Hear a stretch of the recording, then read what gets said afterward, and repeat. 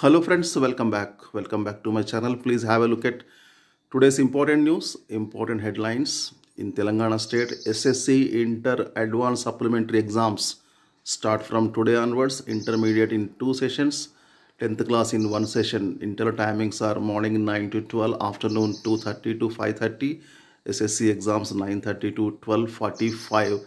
SSC only six papers will be there. EAMCET agriculture and medical stream exams were over yesterday and 86% of attendance were registered so far and results will be declared after 10 days. Triple IT Basara students have withdrawn their protest temporarily. They have to attend the semester examinations and TS ECET will be held today. It will be held in two sessions. This is for admission into engineering courses lateral entry for diploma holders. FRC Fees Regulatory Committee gave permission to engineering colleges in TS to hike the fee. So tuition fee is going to be hiked from this academic year onwards.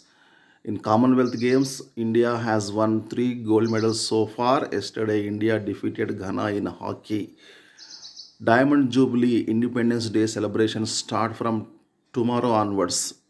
All over the nation, they will be celebrated with great pomp. Second T20 will be played between India and West Indies today.